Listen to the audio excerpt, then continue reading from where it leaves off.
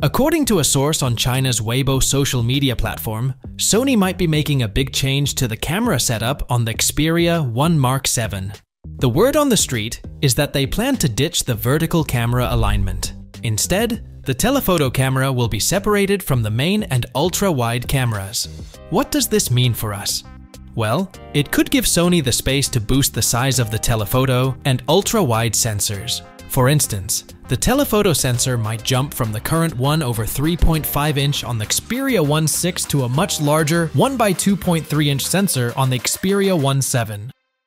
The Xperia 1.6 offers up to 7.1 x optical zoom with a focal length range between 85mm and 170mm.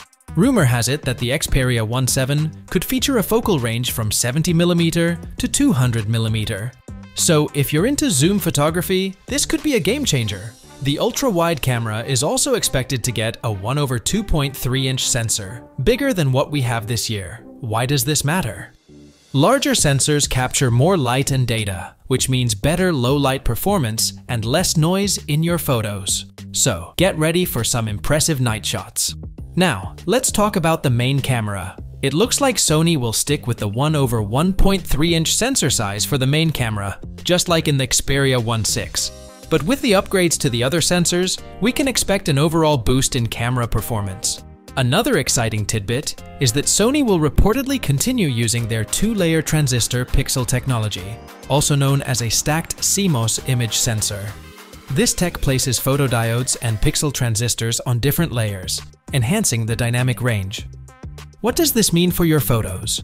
More details, better contrast between light and dark areas, and high-quality shots in all lighting conditions. Sounds pretty sweet. But wait, there's more.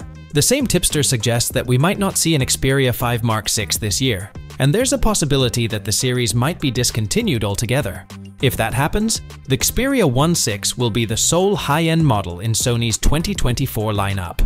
When we consider it, there's really no need for the Xperia 5.6 since the differences in specs would have been minimal. If they focus on improving a single model, I'd fully support that. So there you have it. Some exciting rumors about the Xperia 1 Mark 7, larger camera sensors, better low-light performance, impressive zoom capabilities, and advanced image sensor technology. We can't wait to see if these rumors turn out to be true.